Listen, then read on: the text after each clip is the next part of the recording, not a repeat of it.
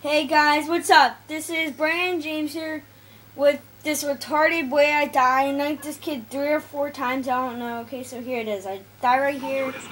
Okay, I knife with that square. I got one, two, three times, and then he kills me. And then, hmm, pretty retarded. I find him sitting right there. I die right there. Alright guys, thanks for watching and please subscribe! Fluffy! Fluffy! Fluffy!